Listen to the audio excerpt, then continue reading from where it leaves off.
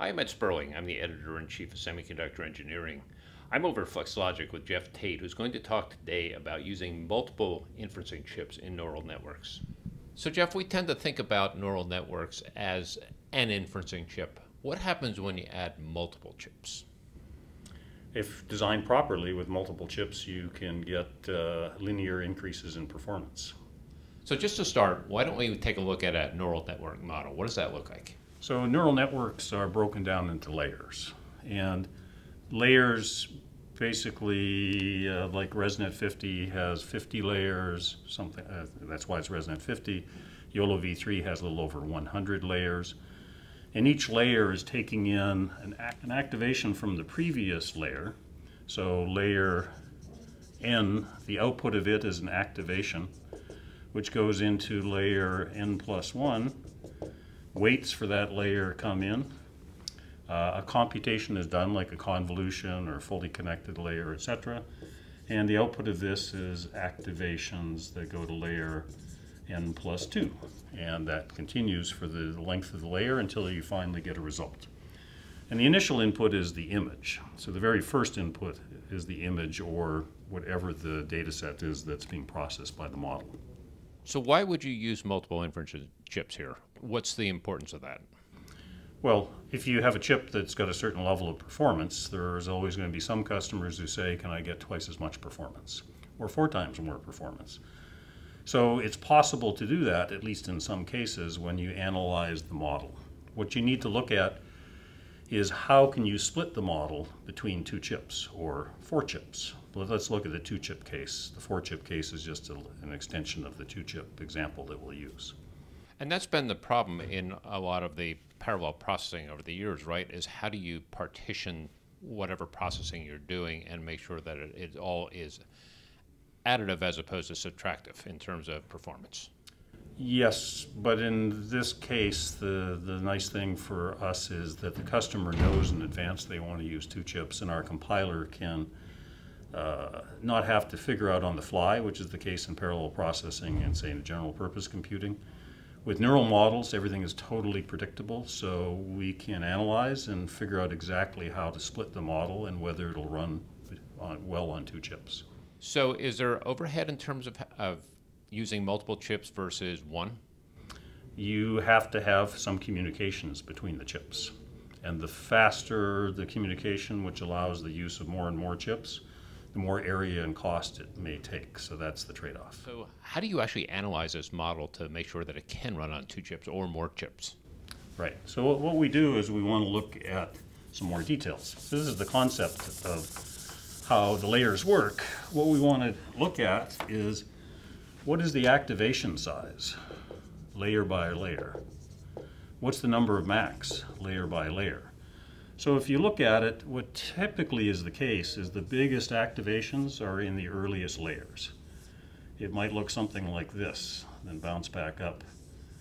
And the trend is that the activation size, sizes tend to typically slowly go down as the number of layers go on.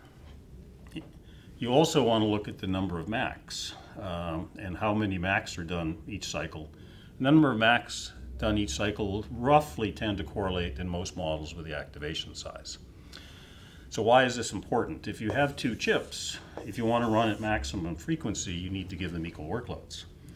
If one chip is doing most of the model and the other chip's only doing a, a bit of the model, you're going to be limited by the throughput of the first chip.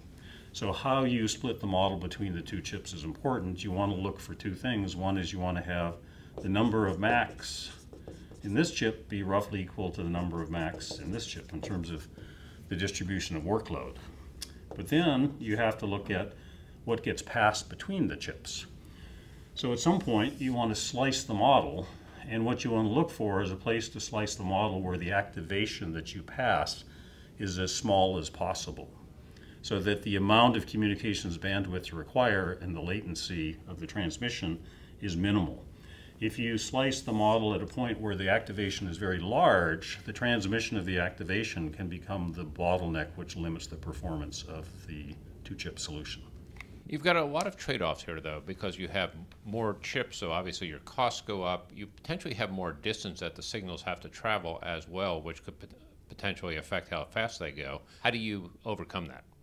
Well, what you have to do is you have to have a performance tool.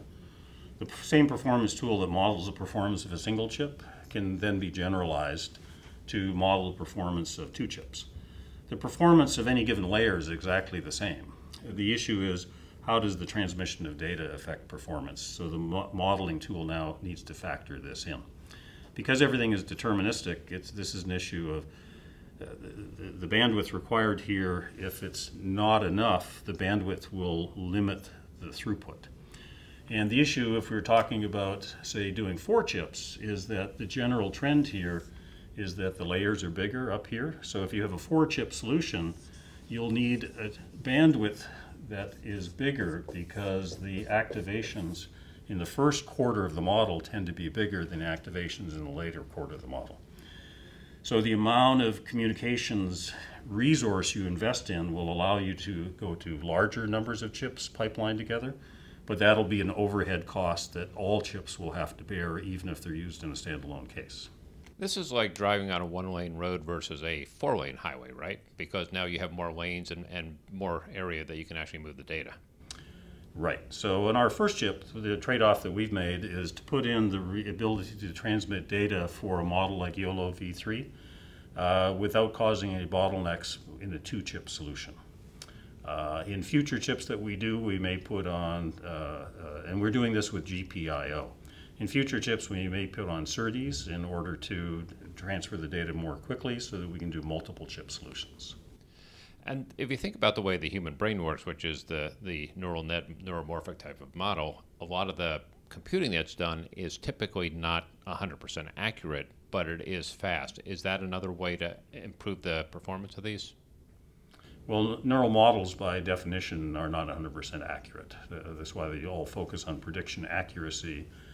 And when you do things like quantize to run in int- integer mode, which is what you do in edge computing, you're giving up a little bit of prediction accuracy for the higher throughput. So, yes, there is a trade off there.